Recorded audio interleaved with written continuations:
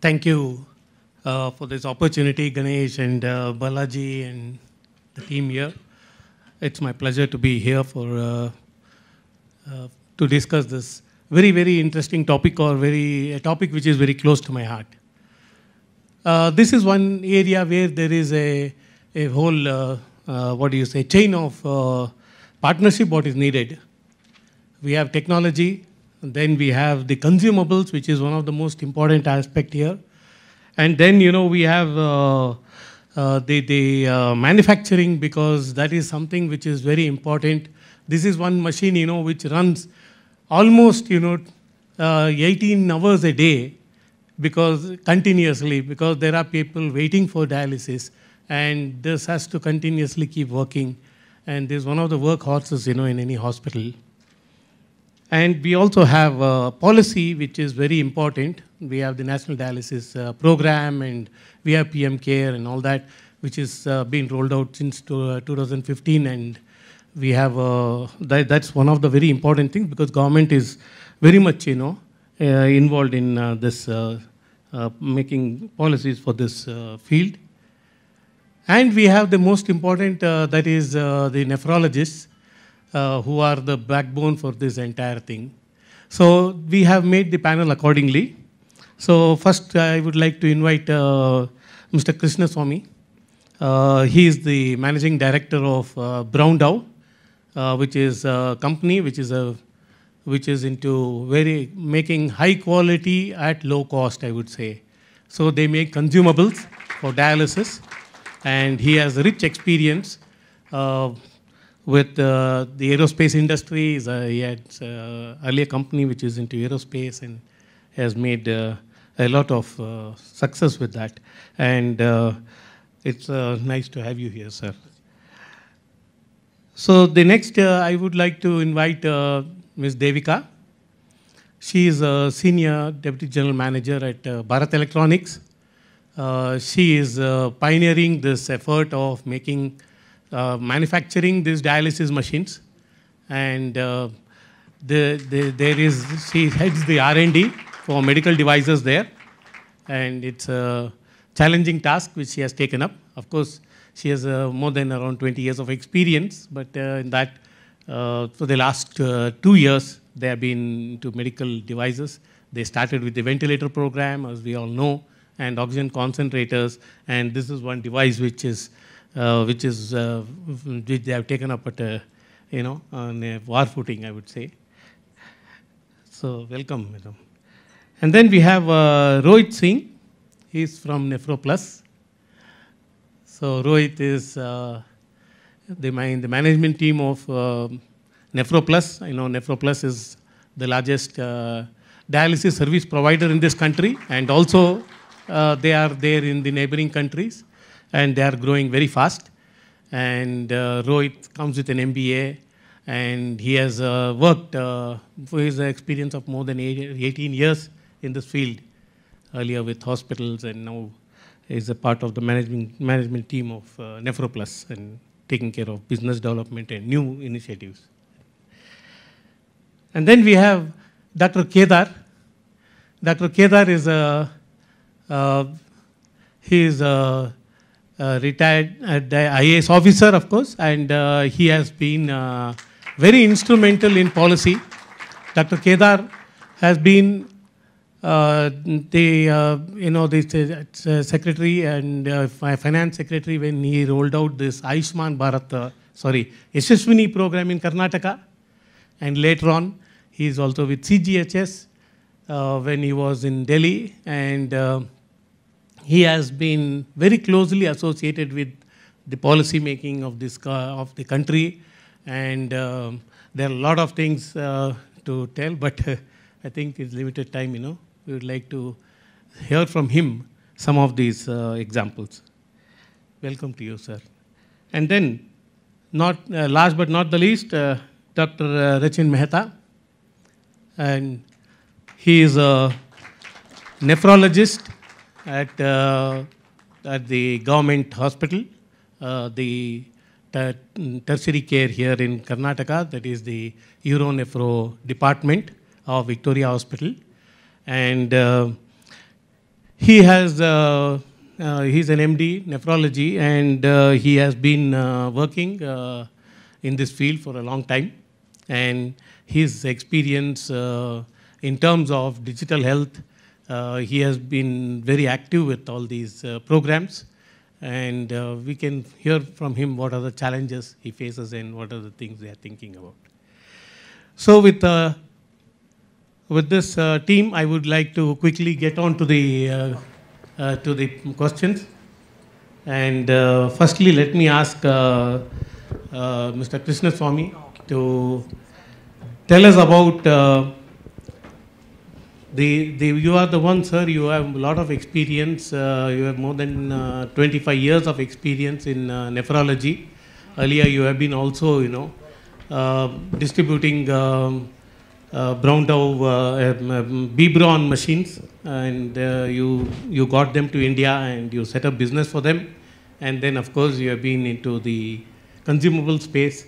So you have seen the way the nephrology has evolved in this country. So uh, what do you think uh, could disrupt this? Thank you, Dr. Sham. Uh, good evening, ladies and gentlemen. Uh, in India, we have come a long way in nephrology. I think when we started, we hardly had about 200 machines across the country. Today, we have 50,000. But even that 50,000 is woefully inadequate. We need something like 300,000 machines to take care of the patient demands that come year on year. I think one of the things that we need to look at, both from the medical equipment and the medical devices side, is our country is what pharma was about 25 years ago.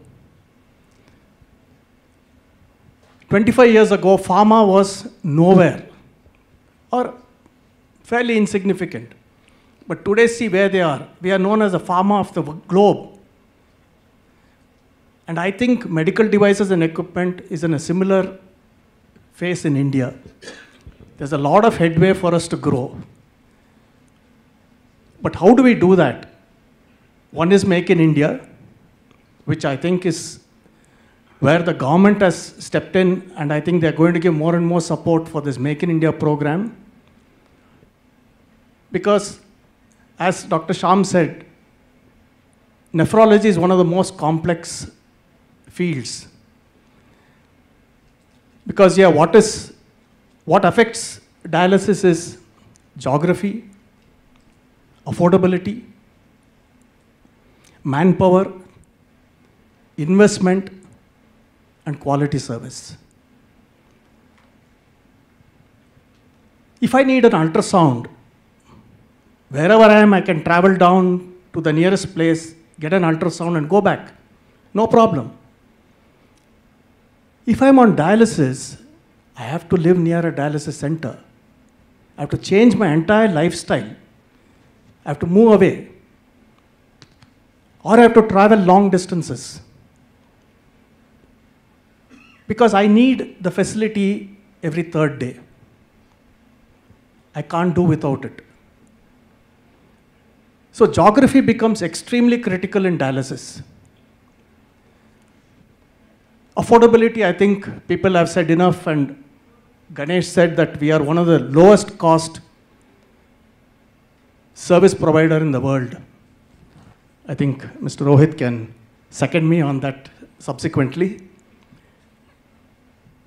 Manpower, Balaji mentioned we have 1800 nephrologists, which is extremely low. So, how do we make that 18,000 or even 25,000? It's not possible to do it physically. So, one of the ways to look at it is to go virtual, see how we can expand that space and how we can work around these pro- problems. Thank you. Uh, so you, you have heard that, you know, we have around uh, 50,000 dialysis machines and, you know, it's around 300,000 machines what we need. So if you see, there's a great demand. And also, you know, we need very robust, very reliable systems here. Uh, and congratulations that you have taken up with this challenge and you are also, you know, partnered with one of the companies with uh, making the uh, most latest uh, technology machines. And uh, being a defense, you come under the defense ministry, and you, you have been working on various uh, such systems. How do you think you can scale up uh, this production, and what are the plans uh, for BEL to take up this challenge? Thank you, sir. Actually, all of us know. Hello. Yeah. Uh, most of us know that uh, BEL has got into medical electronics devices only after COVID. Because of COVID pandemic, government of India interested. PL Hello. BEL to support them in combat of this COVID-19 and BEL identified a partner who, who had a ventilator already. And then we went into a series of uh, discussions with them. And then we finalized the partner. It's uh, Skanray from Mysore and then we but uh, for COVID there were additional features which was required apart from what was available in Skanray machine and BEL partnered means along with DRDO to scale up those additional features into the machine. And as you all know that uh, Bharat Electronics is only into defense. This was first time which we entered into electronics, medical electronics. It was rather a new field for us with limited domain knowledge. But BEL geared up to the requirement of Government of India and we realigned our entire infrastructure and the resources to meet the medical requirements. And then we could make 30,000 ventilators in just 90 days. This is just identifying the partner, identifying all the features required for COVID pandemic requirements of a ventilator, and then scaling up along with the partners. We had to tie up with many, and you know it was a lockdown situation. Almost all the the entire country was under lockdown, logistics was a problem. We, in fact, brought so many MSMEs into and we had to reach to the government of Karnataka and government of India, see that all the lockdown restrictions are not there for these companies which are supporting us to manufacture the ventilators. So this was a big Herculean task for us. But then BEL could come out of all this. We realigned our resources we gained the limited domain knowledge required for that particular moment. We went, we even got ISO 13048 certification in just one month. It was really a remarkable achievement for BEL because we are all, all, always into defense equipments like radars and sonars. All this we could do only with agile production system capability, which enabled us to establish the manufacturing infrastructure to produce around 500 to 1,000 machines a day. We had the support from DRDO labs and Government of India. We, in fact, indigenized many critical components which were required, which was to be imported from outside. And in that lockdown and COVID pandemic situation, it was highly difficult for us to procure those. So we had to indigenize along with DRDO, and we manufactured in-house itself. We had our own SBU which could manufacture the valves required for the ventilators. And all the, as I already told, all the resources and infrastructure we realigned to manufacture medical devices. It was, it was only pos possible with excellent partnership among the public, private, and the government agencies working to together for the nation's cost. Nation's cause. Having said about all about the ventilator success story, BEL strategy to enable dialysis expansion and enable affordable dialysis to people is to focus on Atmanirbhar and Make in India. Saying so, we have partnered with Renalyx, Shamsar to manufacture their indigenized developed, indigenously developed RxD70 dialysis machine, hemodialysis machine. And we are also having an MOU with Genworks so that these uh, machines manufactured by BEL could reach the dialysis center required as spoke about, sir. So that's wonderful. I think uh, we cannot think of any better partner than BEL to really scale up and make this uh, scale, you know, manufacture this equipment. Thank you. So going to Mr. Rohit Singh, uh, Nephroplus has been the largest uh, uh, service provider uh, in the country and also in neighboring countries. And in this experience, what are the things you know? Which are the what are the problems you see, and uh, what type of business models uh, do you see evolving to cater to the needs of these smaller dialysis centers, the microdialysis centers, and things like that? You know, dialysis on wheels, all those what you are experimenting with. Thank you, Dr. Sham. I think uh, uh, good evening to every uh, person present here on a Sunday evening. Thanks. very intense question, which is covering every aspect from small to the problem statement to the scale.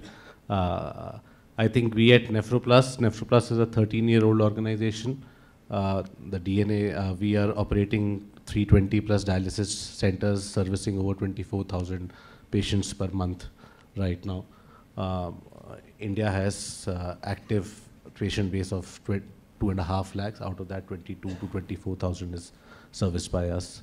Uh, we are now in four countries, and we are in fact developing world's largest dialysis center in Uzbekistan as well, which is 170 bedded only dialysis center.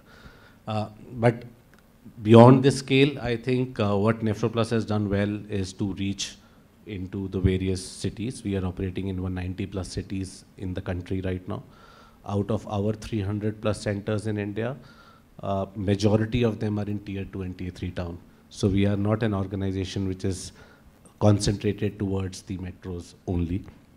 And we also work with the governments on the PPP projects, standalone centers and captive units with the private institutions like Max, Fortis, uh, Ruby Hall, and many more other partners. So, so it's the whole spectrum of, of dialysis delivery that we are involved into. To come to your point that what are the problem statements uh, that we are facing and, and what are the innovative models here. How I'll take the problem statement is, is dialysis, as Chris rightly mentioned, India is operating at the least price point possible in the world, probably in the world. Uh, uh, other geographies that we are right now working in or aspiring to work in are 2x to 3x this price point. So there is uh, not a marginal difference. There is a we are a fraction of them.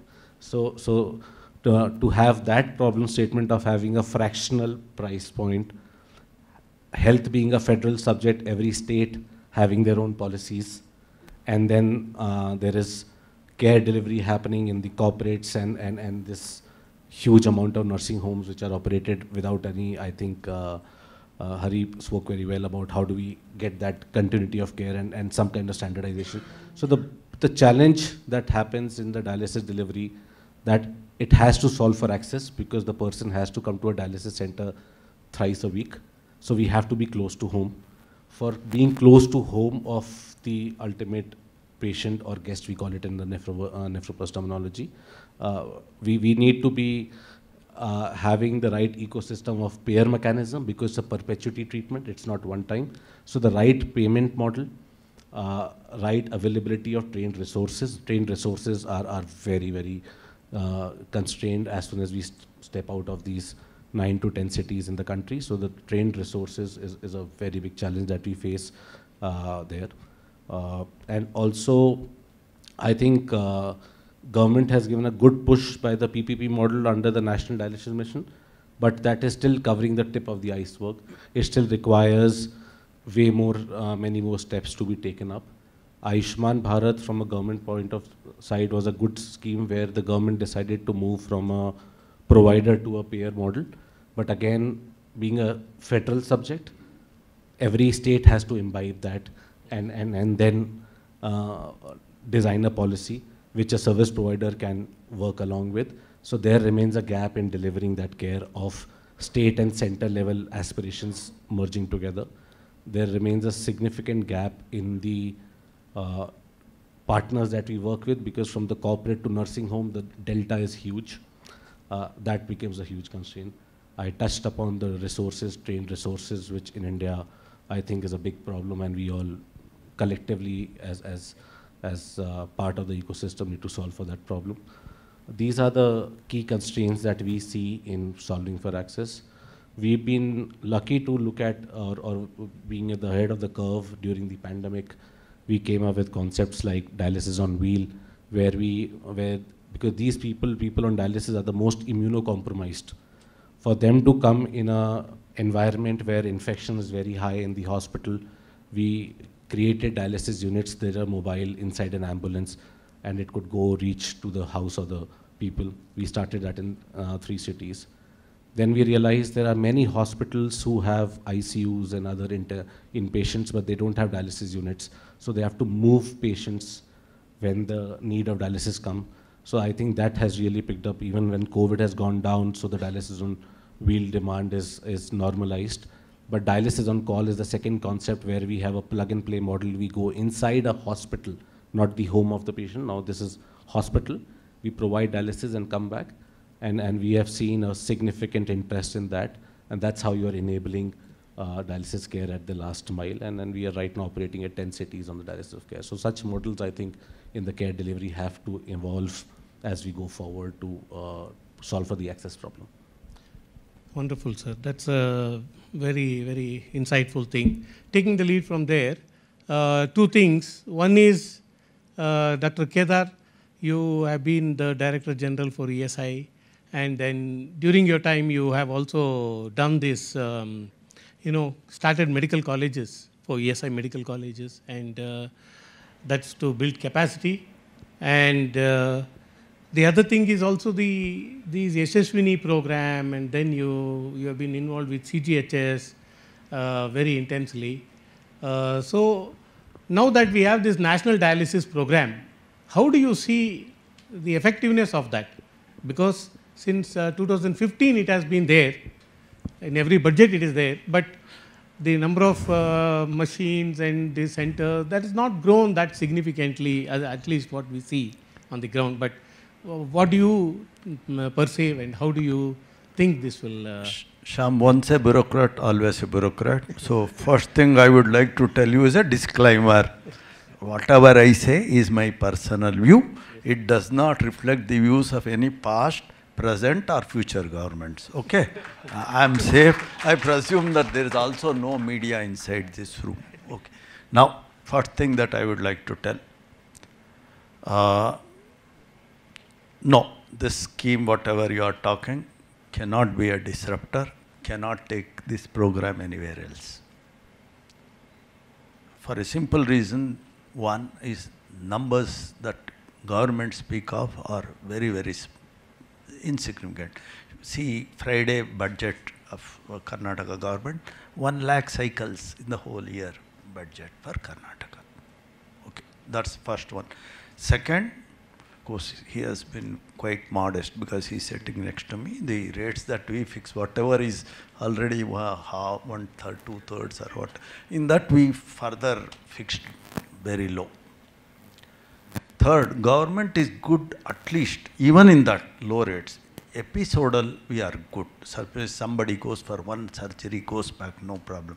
Unfortunately, you are a problematic man. You are a chronic. You keep on doing. So one problem is we don't only give low rate, we are also not a very prompt payers. Especially if he's doing, I don't know whether he is doing in ESIC Rajaji Nagar Medical College because we were, we, we were the first to call for a PPP mode. I'm sorry, don't hit me, but uh, I, I, I, had called you for that and I, I suspected that you must have been doing that. Uh, you have a lot of patience, keep it up. So, uh, ESIC is a better pay, reasonably when compared to state governments and central central government schemes. So, reasonably better. I'm not claiming much.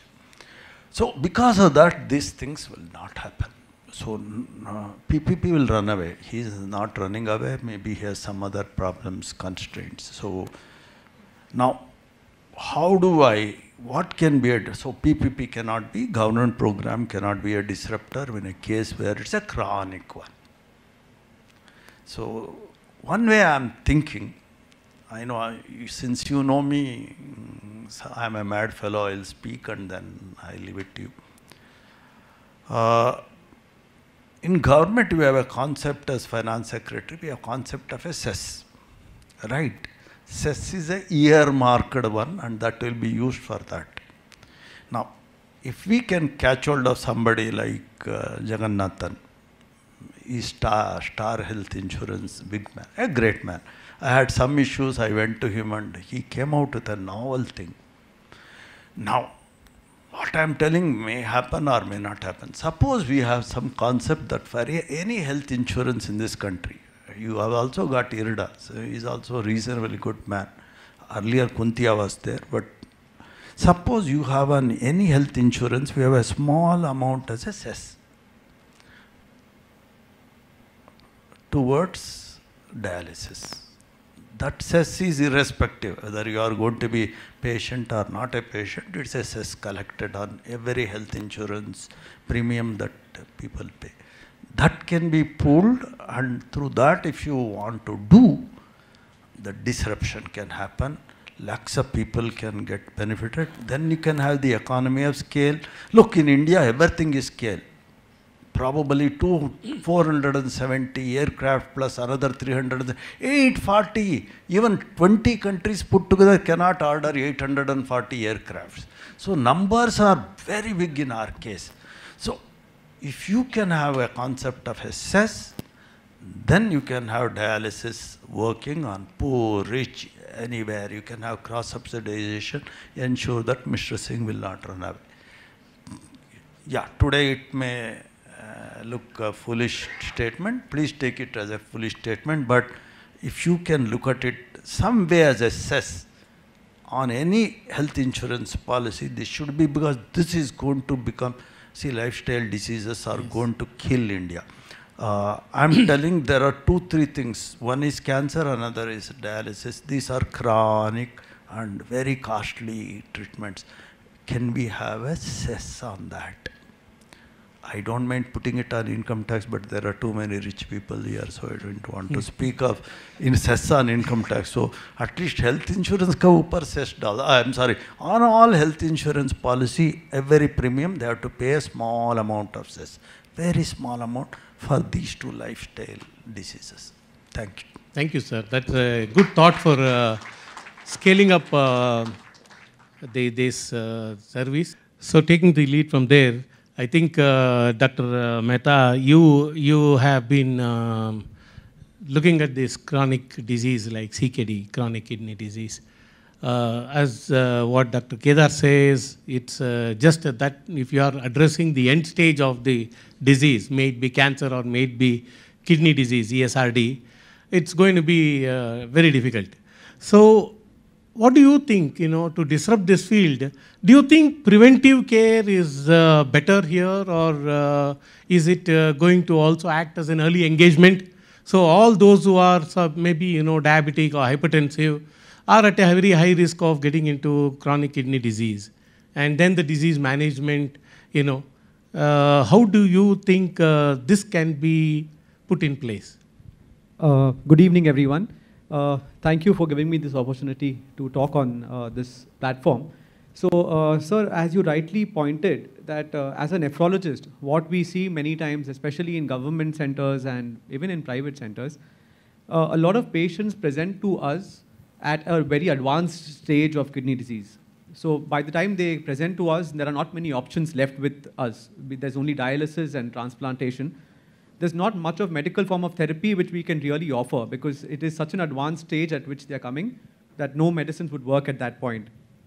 Uh, so addressing this, I've always wondered, uh, why don't we pick up this disease at an early stage? And how would we be able to identify it at its inception? Now, to answer this question, it's very simple. I've, I've always felt they have to have some health screening programs in schools annually schools having health programs wherein you are testing every child for a set of diseases. a simple test like a urine examination can pick up kidney disease at its inception. Unfortunately, we don't have that in place. So by the time the kidney disease manifests, the creatinine has already gone up and we've lost the game.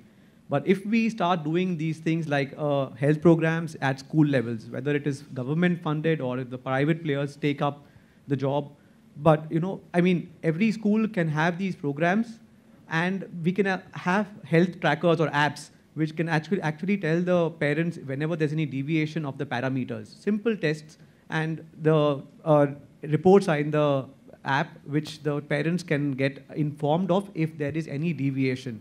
So that is the most important thing. I think at an early stage itself, hmm. we can pick up the kidney diseases. That is number one. Number two, as we know that India is the diabetes capital of the world now. And diabetes is the most common cause of chronic kidney disease. Each, every diabetic has a 40 to 60% chance of developing a kidney failure. Yes, so we need, how do we, how do we identify this at an early stage? by the time these guys are identified again, they, they know they have diabetes. They know that they are prone to develop a kidney disease right. and other diseases, of course. But unfortunately, by the time they get to know that they have a kidney disease, it's already out. So we don't really have too much to offer. So again, if there are any applications which can, you know, once you are diagnosed with diabetes, there could be apps, there could be technology which can help them track their health. You know, the placing right. the health in one's own hand because it's not going to be possible for any program to be able to cater to every individual who is having diabetes. So uh, if, they, if there are applications which can you know, tell them that, okay, if you're a diabetic, you need to screen for your kidney diseases once every year by doing these tests. And how frequently do you do it? And from when do you start screening? So that is the most important thing that they can identify their kidney disease at an early stage. And just like diabetes, there are even other inherited diseases. Right where the parents already are having it. For example, polycystic kidneys, right. one of the commonest uh, inherited kidney diseases. So the parents are already aware that they are suffering from it. And they know that the child has a, I mean, 100% chance of getting it. So how, how to monitor it? When do you start screening and how frequent do you screen for it?